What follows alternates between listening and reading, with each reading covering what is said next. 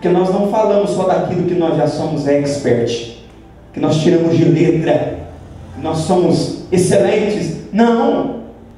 Muitas das vezes nós falamos de coisas aqui que somos nós quem mais precisamos melhorar nelas. E nessa questão de suportar um ao outro, quantas e quantas pessoas, quantos e quantos crentes estão dizendo, eu vou ser crente lá em casa. Eu ouvi um pastor, não sei se foi o pastor Samuel Procópio, achei interessante ele falar esses dias. Ô irmão, você que está desviado, ou que está afastado da igreja, está desviado, mas simplesmente está dizendo, eu vou congregar lá em casa. A verdade é que quem decide agir assim, Paulo, ele está agindo contrário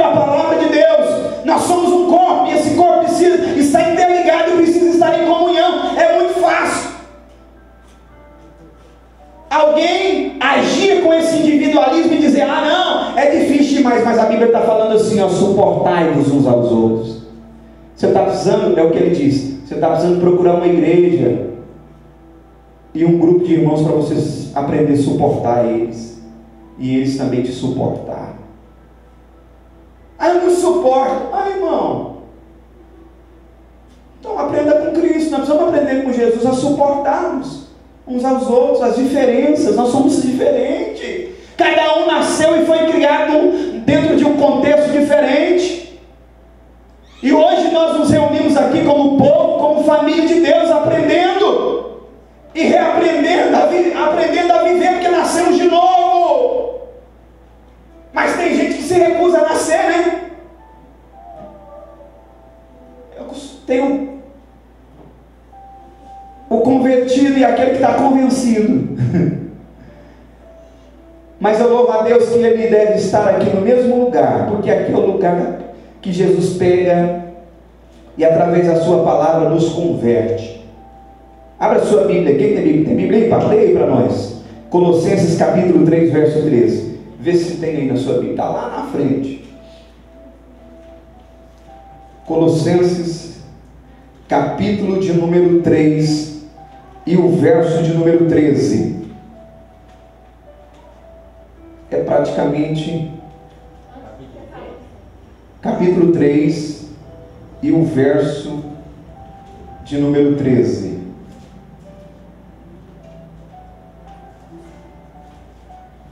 Encontrou? Sim. Pode ler. Abaixa a massa, só, só para você ler. Suportai-vos uns aos outros e perdoai-vos uns aos outros. Se alguém tiver que queixar contra os outros, assim como Cristo vos Isso, pode voltar a massa. Você está vendo, irmão? É Paulo quem está falando os irmãos lá em Colossos. Ô, gente, Povo de Deus, igreja, está falando: olha, verso 12: revestivos, pois, como eleitos de Deus, santos e amados, de, entranha, de entranhas de misericórdia, de benignidade, humildade, mansidão, longanimidade, suportando-vos uns aos outros. Irmãos, vocês sabiam que o que mais cresceu nessa pandemia, falando sobre violência, é a violência contra a mulher? Vocês sabiam? eu acredito que foi ontem, irmãos, eu vi um, um, um, um, homicídio tão terrível de um homem que não aceitou o término do, o término do relacionamento. Estava simpático, presença. Arrumado outra namorada há muito tempo. Uma escassez de homem, tá? No mercado. A moça termina com ele. Ele manda umas mensagens, eu escutei as mensagens. Eu estou falando isso aqui, irmãos, porque Deus já havia colocado no meu coração. Deus já havia falado no meu coração desde a semana passada. E esse moço, a namorada termina. E ele ficou muito contrariado. Ela não quis voltar. Ele pegou o carro Primeiro esfaqueou ela. Depois pegou o carro, passou nela, sobre ela, atropelou ela duas vezes. Isso em plena luz do dia, está na internet. E depois atirou várias vezes. Porque não aceitava o fim do relacionamento.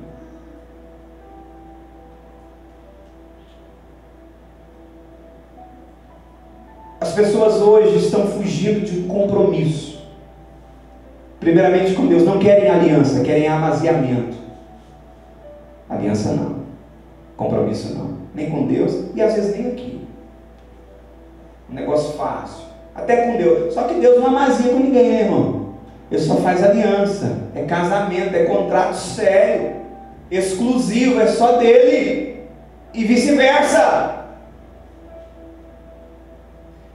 E nós estamos vivendo nessa época em que as pessoas e se resume, sabe em quê? Sabe por que muitas das vezes não querem fazer compromisso? E muitas vezes por causa dessa questão de não querer se suportar. Fica mais fácil. Ah, qualquer coisa eu separo e você pega as suas trouxas e eu pego as minhas, vou para casa da minha mãe e tá tudo certo e vamos embora, vida que segue, e ali na frente nós vamos embora. Não aceite esta esta realidade que nós estamos vivenciando. Eu louvo a Deus que eu tenho tido a oportunidade de vivenciar aqui, de ajudar várias pessoas a, formar, a formalizar essa união, né? E vou ajudar no ano que vem. Tem vários casamentos que nós iremos fazer. Eu creio que o próximo é o do Maio. Né? Se Deus quiser. Fala amém, igreja. Ah, não, é. Mas nós estamos, irmãos, vivenciando isso. Irmãos, eu quero dizer, eu quero uma palavra aqui. No trabalho que eu fiz, eu fiz um trabalho esses dias escolar e falei sobre isso, sobre essa questão.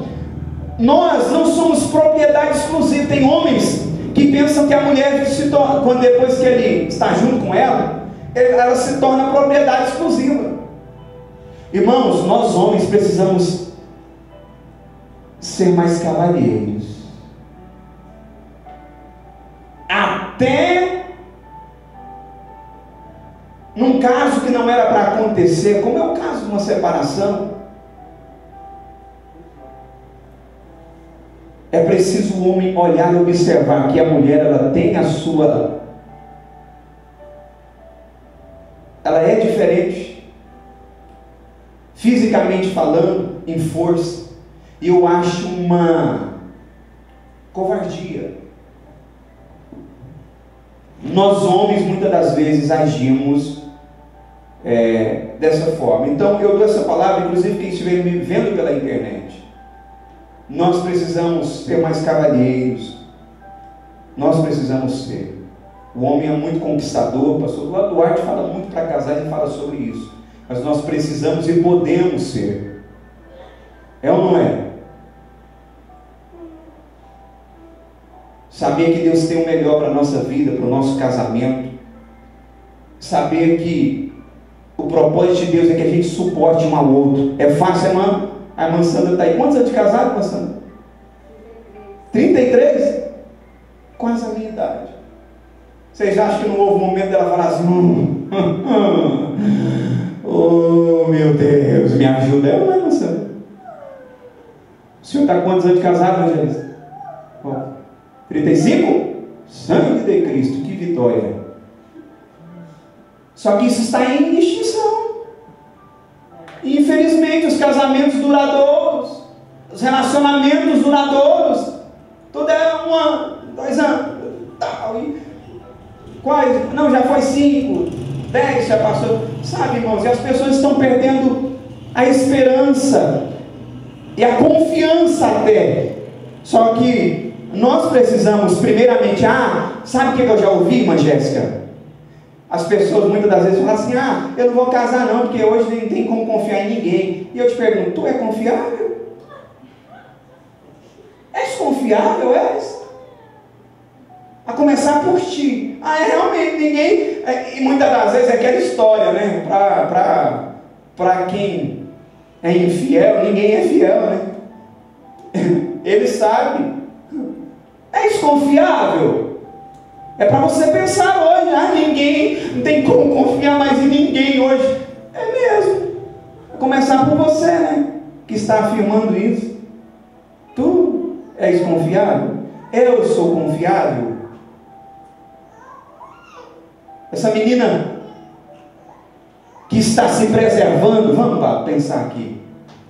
Que a mãe dela está orando e dizendo: Jesus, meu filho, minha filha, não deixa ela casar com crápula, não.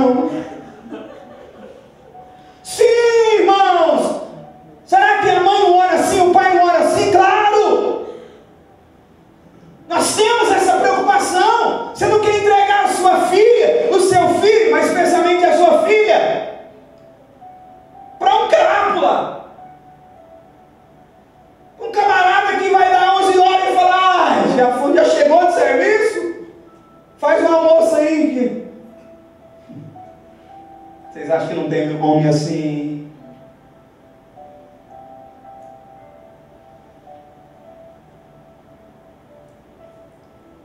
Sabe, irmãos?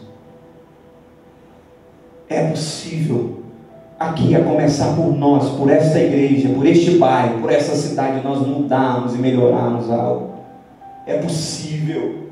Deus está mantendo a igreja dele aqui ainda, porque ele acredita que se essa igreja se levantar, nós podemos influenciar uma sociedade que está dizendo não tem jeito mais, está tudo acabado. Mas nós, ao vivermos aqui juntos em família, como igreja, nós estamos dizendo é possível suportarmos uns aos outros. Lá no mundo, quando acontece alguma coisa que alguém não concorda, já pega o facão